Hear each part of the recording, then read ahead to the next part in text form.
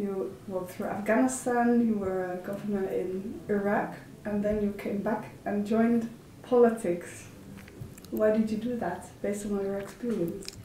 I think I realized that um, although it's incredibly exciting to be working in other people's country, in the end, if you really want to make a change, you have to return to your own country.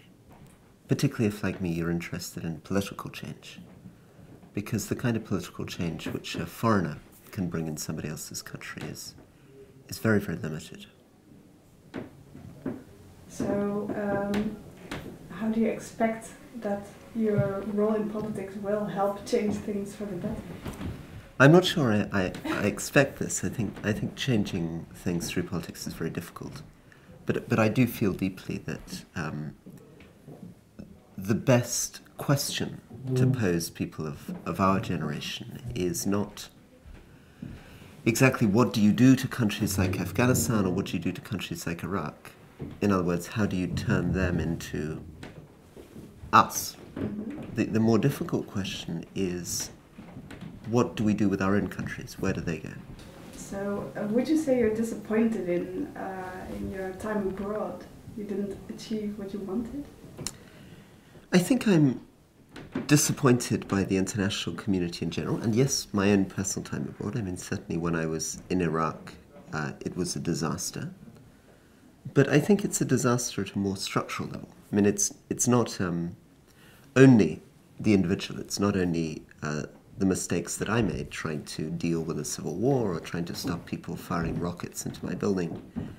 It's the complete idea that foreigners can come in from another country with a very limited understanding of the language and the culture and attempt to apply a very, very vague plan on somebody else's uh, society.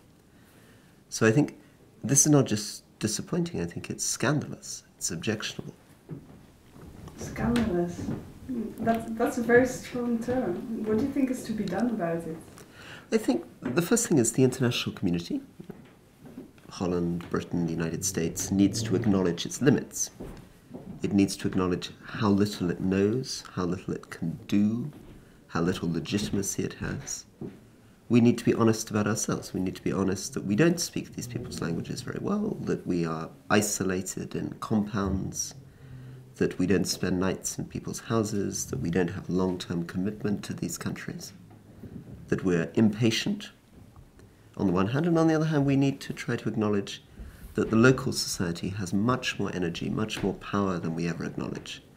That we talk about these countries as though they're failed states, as though they're blank, whereas in fact there's incredible amount of local energy, institutions, practices Local politicians, Afghan politicians, can do much more than we acknowledge. We can do much less. All right, then my final question before you can head up to have breakfast. Um, what is your personal mission right now and how would you like to fulfill it? I think my personal mission is to try to do my part to convince people of the dignity and the glory of politics, to pull people back into the political sphere. At the moment, we live in a society which is either obsessed with trying to change the world at a completely crazy, impossible level, you know, talking about ending global poverty or ending global conflict, or we live in a world where everybody just gives up and they retreat into their home and they say, oh, what matters is my family and I'll just get on with my life. The complete middle ground, which is the ground of elected politics, of the citizen, has lost all its dignity. And in order to recreate it, it's not just a question of getting politicians to participate, it's a question of getting citizens to take this seriously again, to believe that there is moral value in the civic sphere. So we should have more belief in our politicians.